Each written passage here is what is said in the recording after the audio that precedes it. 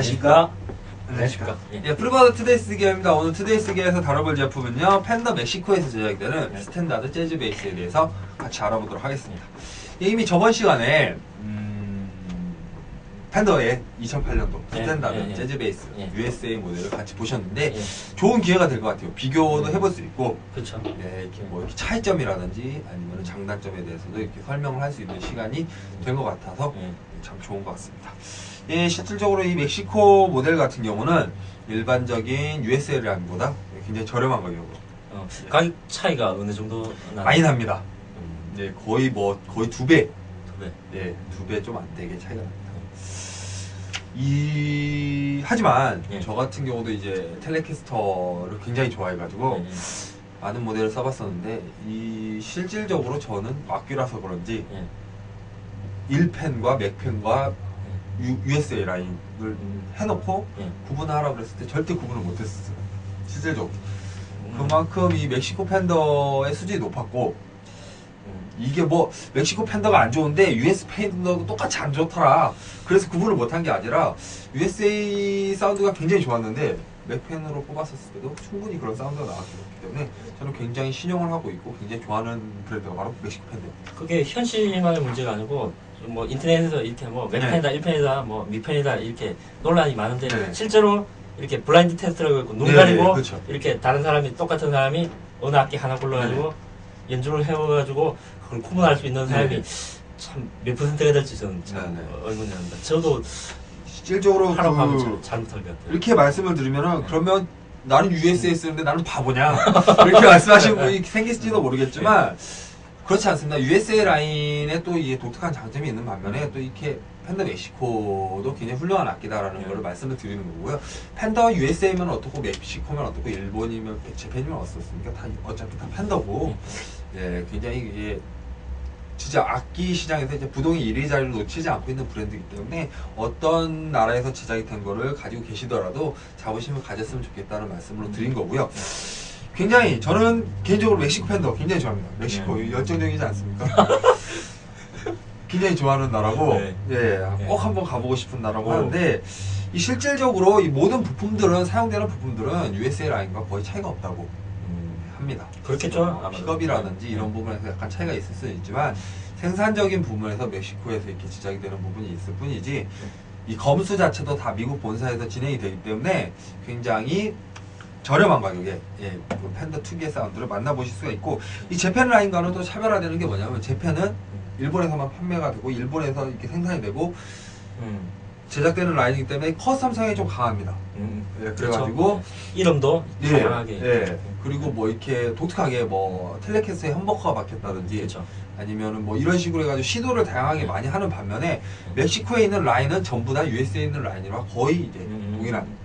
라인으로 출시가 되기 때문에 USA 톤을 좀 더 저렴하게 구입을 하고 싶다라고 생각하시는 분은 멕시코 팬더를 선택을 해주시는 게 더 좋을 것 같다는 생각이 들고요. 팬더 재팬이 나쁜 제품이냐? 절대 아닙니다. 팬더 재팬도 역시 훌륭하고 팬더 재팬만이 색감이 강하기 때문에 지금까지 꾸준히 사랑을 받아왔던 모델이고 멕시코 Fender 역시 그러하다는 말씀을 드리고 있는 겁니다. 네, 간단히 스펙을 설명을 드리자면요. 예. 지금 body는 alder, alder로 제작이 되어 있습니다. alder로 제작이 되어 있고 지금 보시면 neck이 maple neck에 rosewood 지판이 예, 적용이 되어 있죠. 이 옵션 같은 경우는 예, 메이플 지판이라든지 이런 거는 음. 선택을 하실 수가 있습니다. 컬러 역시 지금 three tone sunburst로 가지고 나왔지만 가장 유명한 색이기 때문에 가지고 나왔고 다양한 색상이 존재하기 때문에 편하시게 예, 선택을 해주시면 될 것 같습니다. 그리고 역시나 재즈 베이스 픽업이 이렇게 이게 standard 재즈 베이스 single coil 픽업이라는 음. 픽업인데 이게 2008년도에도 또 역시나 업그레이드가 약간 음. 된 상태이기 때문에 사운드의 차이를 또 느껴보시면 좋으실 것 같네요. 그리고 요게 차이점이 있죠. USA 라인과 요 부분. bridge 아, 그렇죠. 설명을 해주시겠습니까? 예, bridge가 그 일반적인 예. bridge가 되어 있고 그리고 요거는 7, 70년대 그 베이스 같이 이렇게 네. 그 나사 모양으로 안 돼 있고 하나만 이렇게 네네. 홈이 파여 있어가지고 이렇게 돼 있습니다. 네. 그 일반적으로 이 USA 라인 같은 경우 이렇게 그렇죠. string through, 이게 예. string 저 body through 예 예, body through 돼 body through 있죠. 제작이 되는데 이거 같은 경우는 차이점이 있네요. body through 하면 약간 더 이렇게 string이 올리면 예. 이게 이 body에 그렇죠. 좀 전달하는 좀 예. 그런 게 있겠죠. 그리고 역시나 마찬가지로 이 two volume의 one tone, 예, front 픽업, rear 픽업, 그리고 master tone 이렇게 지정이 되어 있습니다. 개인적으로 저는 이 two volume이 참 힘들어요. 네. 두 이렇게 같이 돌려야 되니까 줄일 때 그렇죠. 네. 손가락 두 개로 이렇게 좀 하고.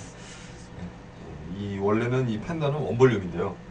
기타 같은 경우는 어. one volume이고 Gibson이 이제 two volume인데 음. 베이스에서는 좀 이렇게 two volume 쪽에 이게 그 소, 소위 말하는 이제 뭐 one volume으로 제작이 되어 있거나 toggle 스위치가 달려 있는 베이스도 많고 아니면 이런 식으로 하는 게 blending을 하는 게 아니라 아예 blending knob가 따로 달려 있는 애들도 많은데 저 같은 경우는 요거가 좀 더 미세하게 네, 잘 사용할 수 있지 않을까 그 팬더 베이스의 저는 가장 큰 장점이라고 생각하는 네. 게 회로가 간단하다. 네네네. 그러니까 너무 솔직하게 이렇게 이게 회로에서 전자 회로에서 뭔가를 조작하고 이런 네네. 것들이 거의 없다고 네네. 생각하기 때문에 그걸 없애기 위해서 저는 예, 예. 이렇게 했다고 생각을 네. 하거든요.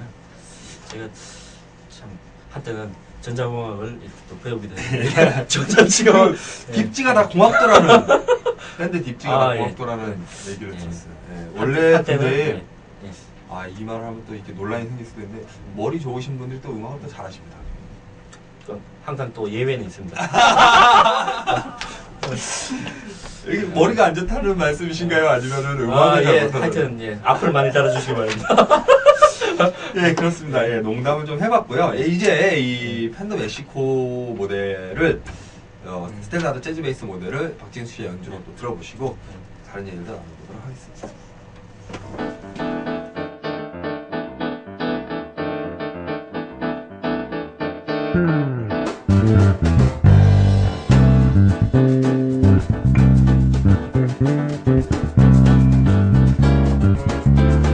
Thank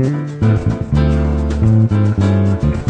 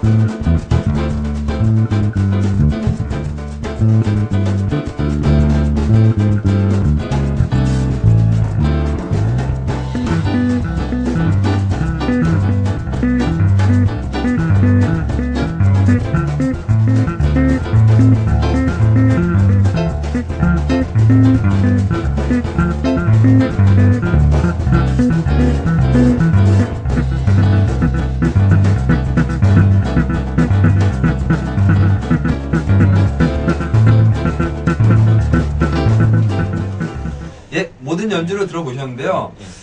어, 저는, 저는 잘 모르겠어요. 정말. 이 USA 라인과 멕시코 라인의 차이점이 도대체 뭔가. 미묘한 차이는 있겠죠. 제, 제가 예전에도 몇 번 말씀드린 것 같은데 네. 우리 우리가 일반적으로 이렇게 연주하는 공간이 딱 규모가 어느 정도 일정하고. 일정하고 또 사용하는 앰프라든지 이런 것들이 이제 아주 고가의 것을 잘 사용하지 않기 때문에 네. 그런 경우에는 크게 이렇게 네. 고가의 악기하고 저가의 악기하고 잘 차이가 안. 거죠. 아주 대형 공연장이라든지 아니면 미세하게. 녹음을 하는 상황이라든지 그런 데서는 이제 좀 차이가 나고요. 아까 어, 이렇게 좀 미국 이제 네. 그 American 그 standard 베이스하고 이 비교를 해봤는데 어, 이 튜닝할 때, 튜닝할 때, 예. 튜닝할 때 어, 이게 튜너가 이렇게 전자 튜너가 싹 올라가는 게 이게 약간 더 떨림이 조금 더 네. 있는 그런 이 Fender 쓰다가 또 Fender보다 더 고가의 악기를 쓰고 네. Fender보다 더 이제 네. 안정적으로 이제 네. 또 움직이는 그런 게 있습니다. 네. 그렇습니다. 제가 봤을 때는 이 가격적인 메리트가 있는 악기임에도 불구하고 이 Fender입니다. Fender에서 또 이 제가 봤을 때 멕시코 Fender 같은 경우 이렇게 마무리 같은 게 또 만져보면은 왜 이게 Fender인지를 알 수 있을 정도로 굉장히 훌륭한 악기고요. 그리고 연주감, 사운드 모든 부분에 있어서 외, 외관까지도 놓치기 싫을 정도로 굉장히 훌륭한 악기이기 때문에 욕심을 한번 부려보시는 것도 좋으실 것 같아요. 뭐 이렇게 다양한 브랜드들이 있지만 나는 팬더다라고 생각하시는 분들 중에서도 약간 주머니가 가벼우신 분들, 예, 뭐 사정이 안 좋으신 분들이라든지 아니면은 아 나는 악기는 너무 비싼 것 같아 USA는 라고 그렇죠. 생각하시면서 팬더의 사운드를 느껴보시고 싶으신 분들은 멕시코를 선택을 하시면 정말 후회 없는 선택이 되지 않을까라는 생각을 해봅니다. 오늘 프리버드 Today's Gear에서는요 Fender 멕시코에서 제작이 된 2008년 음, standard 재즈 베이스 모델을 같이 보셨고요. 네. 다음번에 또 다른 gear를 갖고 찾아뵙도록 하겠습니다. 네. 감사합니다. 감사합니다. 고맙습니다. 예.